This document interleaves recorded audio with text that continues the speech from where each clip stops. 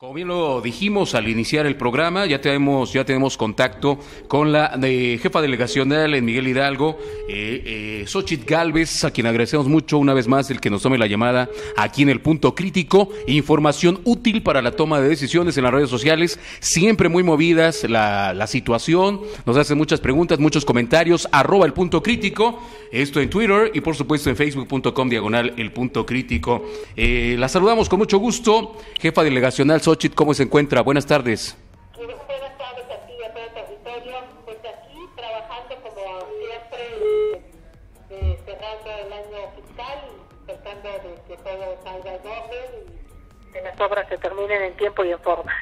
Correcto. Bueno, pues lo primero que nos gustaría preguntarle exactamente son de estas obras, eh, eh, acerca de cómo van, cómo van beneficiando, cómo van mejorando la demarcación Miguel Hidalgo, obviamente una demarcación eh, de las más importantes aquí en el centro de la Ciudad de México.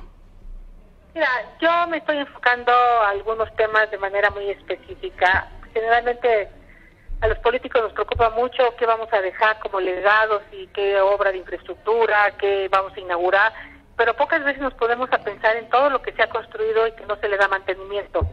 Llámense escuelas que requieren muchísimo mantenimiento, los baños, por ejemplo, del CETIS 8, donde tengo 3.000 alumnos. Tú imagínate 3.000 alumnos diarios utilizando los baños, pues esos baños requieren por lo menos un par de veces de mantenimiento al año, más todo el mantenimiento correctivo que se pueda hacer. Eh, los edificios públicos, los parques, los jardines, eh, eh, los teatros, como el Teatro Ángela Peralta que tenemos, eh, los deportivos, como el Plan Sexenal, por ejemplo, que el domo pues prácticamente ya dio lo que tenía que dar y se está cayendo a pedazos. Ese es un domo de la época de los Juegos Olímpicos de México 68. Entonces, eh, yo me estoy tratando de enfocar muchísimo a darle mantenimiento a lo que tenemos, porque todos queremos construir cosas nuevas y nuevas y nuevas y mantener. Entonces, Estoy duplicando los recursos de servicios urbanos. Para que te des una idea, en el 2015 se dieron cerca de 40 mil servicios urbanos. En, esta, en este año vamos a dar cerca de 85 mil. Eh, eh, y el año que entra voy a duplicar de 100 millones a 200 millones de mantenimiento para servicios urbanos porque siguen faltando lámparas, siguen faltando banquetas que reparar, siguen faltando coladeras que desasolvar siguen faltando calles que repavimentar, o sea, esa es la mayor demanda que yo tengo como delegada por parte de los vecinos. Entonces, en eso estoy muy enfocada en, las calles, en el balizamiento, en el alumbrado, eh, mejorando, tratando obviamente de ordenar la vía pública porque era un desastre, nadie sabe quiénes son, cuántos son, quién paga, quién no paga. Eh, y tratando de acabar obras que quedaron pendientes, por ejemplo, como el edificio delegacional o pronto vamos a reiniciar pues el famoso eh, parque mal llamado Mexicanito, que realmente su nombre es Winston Churchill, y otras obras, terminar Mazarí, que también fue otra obra que quedó pendiente, ya anoche estuve ahí supervisando los cables que se están metiendo para ahora sí meter los cables de Mazarí y ya terminar esa obra que tanto ha, hablado de ella. Entonces digamos que se está concentrando usted, jefa delegacional, exactamente en pues las cosas que quedan pendientes, desgraciadamente, de otras administraciones o que están a medias tintas, ¿no? Pues sí, acabarlas, no hay que tirar el dinero, porque lo empezó otra administración, lo voy a dejar abandonado. Entonces, Mazarik Hemos hecho algunas obras de infraestructura importantes, por ejemplo, esta semana pasada entregamos la rehabilitación de una cancha en el Salesiano, donde tenía muchos jóvenes que se dedicaban a la adicción, a la mona, a la marihuana, y ahora estamos creando clínicas de fútbol, ahí rehabilitando un gimnasio público.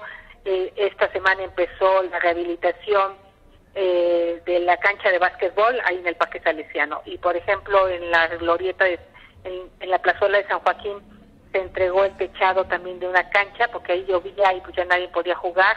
Eh, los niños muy contentos, es una zona también con mucha incidencia delictiva, con muchos temas de violencia, con muchos problemas de drogadicción.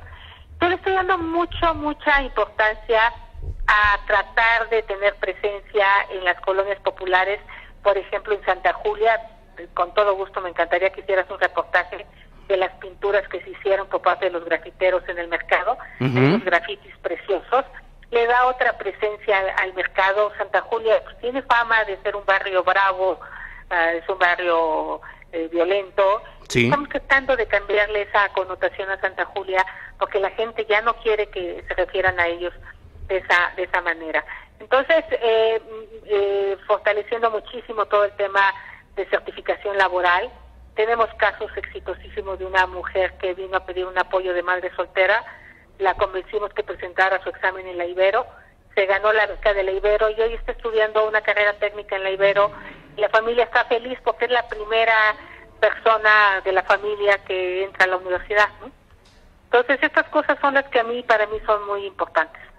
Oiga, eh, jefa delegacional Xochitl, pues fíjese que otra de las cosas que a mí me encanta, me llamó mucho la atención y que me gustaría que usted escucharlo en su voz, es lo que está sucediendo allá en el Panteón Francés, donde a través de las redes sociales nos pregunta por aquí Carlos, pues que resulta que hay vida silvestre de gatos y que según se ha denunciado también hay maltrato, hay un proceso de exterminio en el Panteón Francés. Esto, ¿qué dice usted a este respecto?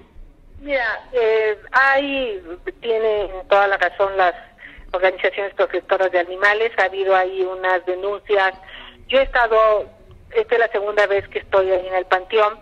Eh, realmente hoy yo no tengo una prueba, que es algo que yo sí creo que es muy importante obtenerla, de algún gato que haya sido violentado. ¿Qué quiere decir? Que lo hayan descabezado, que lo hayan agarrado a municiones o a tiros Sí los encuentro muy seguido animales, por ejemplo, en la calzada de los gallos, allá por eh, donde está justamente el plan seccional.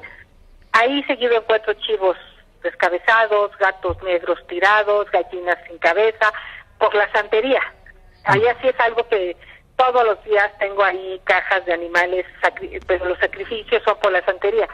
En el caso del Panteón francés, eh, eh, no queda claro si alguien de fuera está entrando, no tenemos un cadáver de un gato que nos dé la evidencia, lo que estoy proponiendo, y bueno, me voy a adelantar, voy a invitar a la clínica veterinaria de la UNAM para que nos ayude a determinar eh, si está desapareciendo los gatos por violencia o estos mueren por muerte natural. Los gatos ferales que están como estos del Panteón francés generalmente pueden tener sida o pueden tener anemia y eso pues también los lleva a su muerte. Entonces, eh, lo que se ofreció al presidente del patronato, que además es una persona que tiene muchísimas fundaciones y es una gente muy altruista, es a que hagamos este estos estudios de cuál es la causa de la muerte de los gatos que lleguemos a encontrar muertos, de ordenar un poco también el, el tema de cómo se les alimenta eh, eh, y sobre todo el atraparlos para que los podamos esterilizar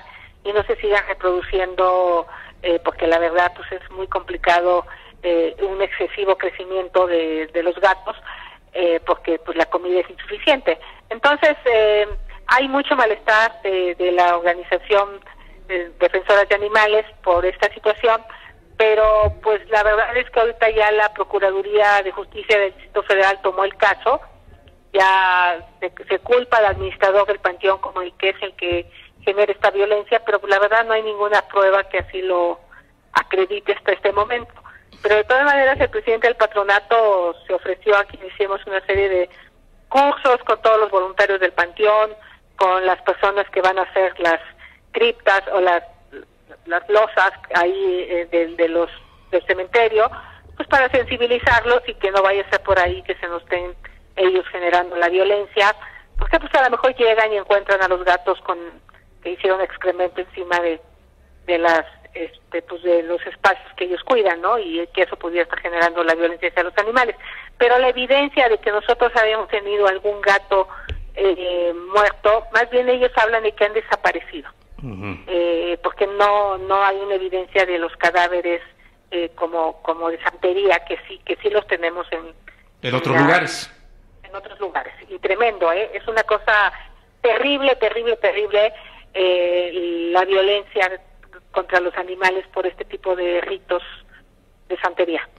Eh, pues gracias por comentarnos acerca de este tema, porque pues la gente a, través de las redes sociales pregunta mucho acerca de este exterminio que bueno usted está desmintiendo obviamente. Eh, y bueno otra de las cosas que sí es bastante importante reconocer y en otros temas, en otros tenores, por ejemplo de este lado Guadalupe nos está preguntando acerca de esta campaña Siempre Mujer, en donde a pesar de que ya pasó la semana o mejor dicho el mes del cáncer, eh, del cáncer de mama, pues esta campaña es constante, la están llevando a cabo se siguen asociando también, eh, jefa delegacional, con otras instituciones para eh, pues integrar a las mujeres con cáncer, ¿no? Si usted nos explica acerca de esta, de esta campaña. El Instituto de Víctor Rodoa con jovencitas que están haciendo sus estudios y se organizaron de una manera extraordinaria para darles un regalo un día eh, a las mujeres que de alguna manera han pasado por un proceso de esta enfermedad en cuanto a su físico, para en cuanto al tema de color de su pelo, de su eh, maquillaje, de su salud, de su bienestar emocional, de terapias psicológicas. Y bueno, esto también se llevó a cabo esta semana en el Parque Lira y llega un llamado pues a las mujeres que estén en rehabilitación por eh, cáncer de mama, que necesiten entrar a alguna alberca de la delegación, que sean de la delegación Miguel Hidalgo, por supuesto, pues que se acerquen conmigo el miércoles ciudadano para ayudarlas porque muchas veces pues, al quitarte los ganglios pierdes fuerza en los brazos y necesitas pues la natación, ¿no? Entonces en la delegación queremos mucho a las mujeres, especialmente, no sé si porque la delegada es mujer, no decía, también queremos a los hombres. Claro. Eh, pero bueno, especialmente eh, seguimos eh, preocupándonos y también avisarles que están abiertas ya las inscripciones para los cursos de certificación laboral. Este año vamos a duplicar las becas por el éxito que tuvimos el año pasado, va a haber 1.500 becas y también se pueden acercar ya las mujeres que se desactualizaron, que se dedicaron a los hijos y hoy quieren reintegrarse al mercado laboral, pues es la oportunidad para volver a aprender computación, aprender algunos eh, software como el SAP y otras cosas, eh, aquí son bienvenidas. Pues realmente estos son eh, algunos de los comentarios de la gente que nos sigue a través de las redes sociales, eh, Xochitl Galvez. Y bueno, pues de qué manera eh, la gente de la demarcación puede acercarse con usted, eh, presentar sus quejas, sus denuncias. Bueno, quizás no con usted directamente, pero con la delegación para saciar sus, sus dudas. No, pues sí se pueden acercar conmigo. Yo atiendo los miércoles, todos los miércoles en la explanada, desde las 8 de la mañana a las 4 de la tarde eh, sí hay que llegar tempranito porque hay mucha gente que luego llega a las seis y media. Hay una fila este, impresionante. No, pero te da una ficha y es democrática. ¿eh? Aquí pobres y ricos vienen al miércoles ciudadano. Aquí no hay eh, ciudadanos de primera o de segunda. eh, pues pueden llegar. De hecho, este miércoles vino una señora que no podía creer que me había visto porque dice, es que no creo que la vi. Eh, ella perdió su casa por un derrumbe durante la semana pasada en la colonia San Miguel Chapultepec y además eh, se quedó sin empleo porque fue de las que quitaron en ese tram. Y bueno, encontramos una solución para ella que entra en un mercado público, estamos viendo el tema de su vivienda. Entonces sí podemos dar soluciones concretas a problemas concretos. Eh, eh, por supuesto que cuando pasa esto, pues sí hay ficha directa con la delegada rapidísimo. Si me vienen a reportar un árbol que hay que podar, pues pasan a Parques y Jardines, les dan su folio y se van no necesitan hablar con la delegada, pero hay temas en los que sí, pues yo puedo tomar ciertas decisiones en beneficio de los vecinos y darle toda la prioridad del mundo.